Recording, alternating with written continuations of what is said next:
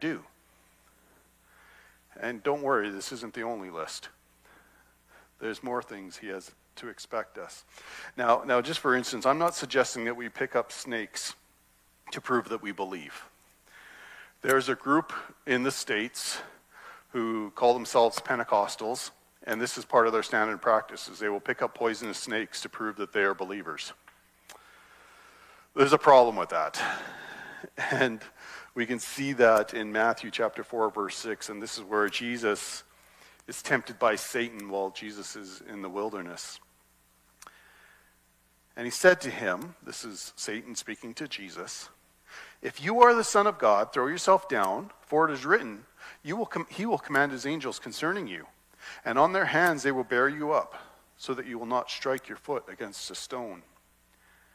And Jesus responded verse 7. Jesus said to him, On the other hand, it is written, You shall not put the Lord your God to the test. You see, you see, we should never put ourselves deliberately into the in harm's way. That's testing God. You don't actually pick up a poisonous snake to prove that you believe. Okay? That's testing God. But instead, we can see the practical application of how this is carried out in, in the life of Paul. You see, in Acts 28, verses 3 to 5, it said, But when Paul had gathered a bundle of sticks and laid them on the fire, a viper came out of the heat and fastened itself on his hand.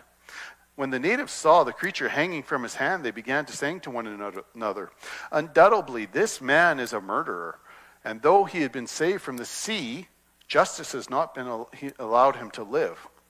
However, he shook off the creature into the fire and suffered no harm. See, Paul never tested God by playing with the snake. But when the snake attacked, God had it covered. You see, that's the principle we got to gather from this today is we don't go looking to put ourselves in the way of harm so God will protect us.